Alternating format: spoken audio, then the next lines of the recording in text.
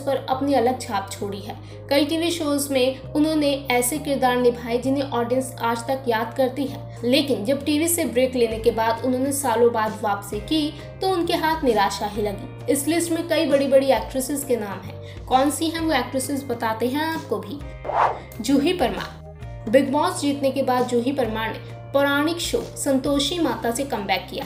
ये show audience पर अपनी छाप छोड़ पाने में नाकामयाब रहा। परिधि शर्मा जोधा अकबर फ़िल्म परिधि ने सीरियल पटियाला बेब से कम किया था। कम टीआरपी के चलते इस शो को तो मेकर्स ने जल्द ही बंद कर दिया था। हालाँकि इस शो में परिधि के किरदार को काफ़ी पसंद किया गया था, लेकिन उन्हें वैसा प्यार नहीं मिला जैसा जोधा अकबर में जोधा के किरदार से मिला था।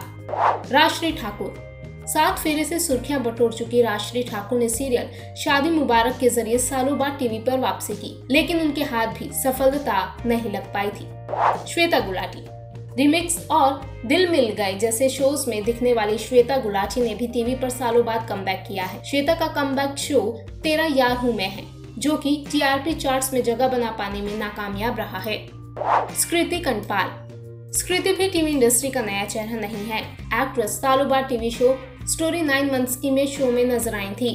लेकिन ये शो भी कुछ खास कमाल नहीं कर पाया और स्कृति का कम रहा असफल। मानसी जोशी। एक्टर शर्मन जोशी की बहन मानसी जोशी ने छोटे पर्दे पर सीरियल ढाई किलो प्रेम से वापसी की थी। ये शो लोगों का ध्यान अपनी ओर खींचने में ज़्यादा कामयाब नहीं हुआ था। दीपिका कक्कड़।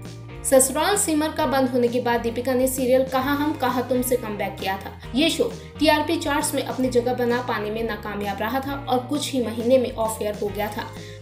वेल तो ये है वो एक्ट्रेसेस जिन्होंने एक वक्त में टीवी पर खूब धमाल मचाया था। लेकिन जब सालों बाद वापसी की तो ऑडियंस को ना तो शो की कहानी पसंद आई और ना ही उनके किरदार।